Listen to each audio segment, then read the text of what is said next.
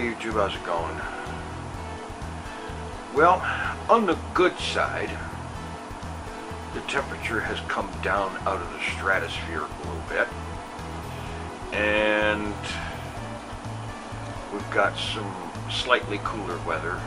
It's been like in the low 80s today, which is actually something of a serious break, although I still consider that to be way too hot.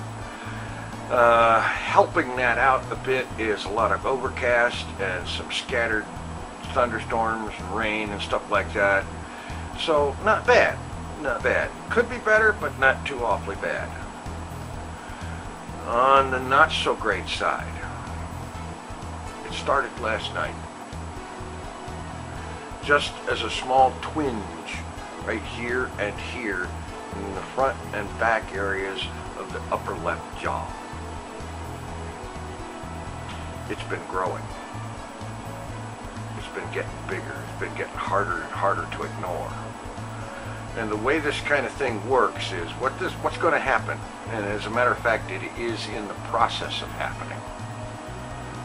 The pain starts here in the jaw, and slowly but surely it works its way up the side of my head. And when it gets to about here, it drills its way in where it could just be a really bad headache or it could turn into a full-blown let me hide in the dark for a week migraine. I don't know yet which way it's going, but I will say that it's already getting more and more difficult to face any serious amount of light, and that's not a good sign.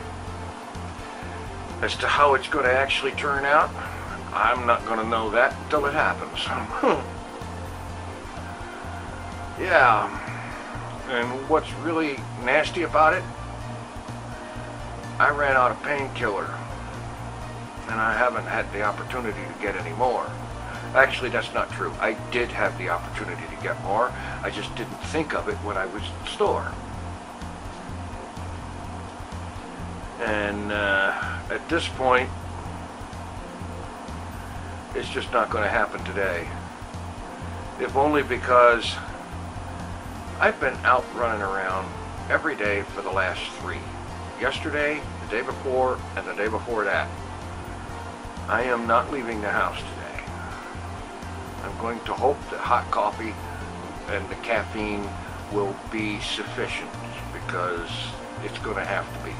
Besides, another reason to not go buying anything right now is I just paid my rent and I paid my bills and if I've got my numbers right, I've got about 20 bucks left for the rest of the month.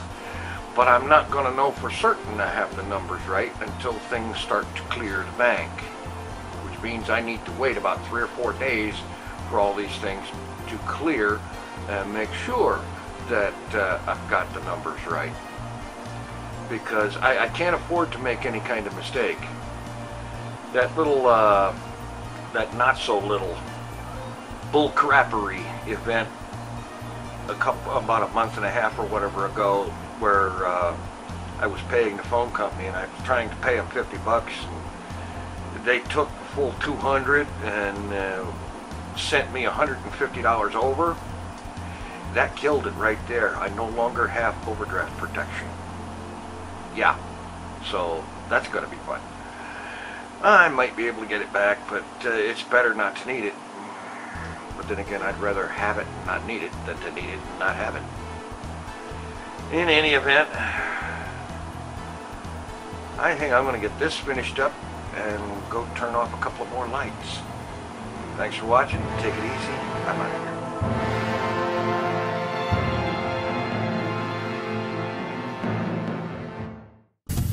Mr.